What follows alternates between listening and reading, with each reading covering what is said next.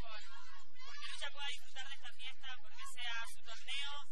Eh, la verdad que veníamos muy emocionadas en el micro, fue todo muy choqueado, sabíamos que íbamos a jugar bien, sabíamos que nos jugaba la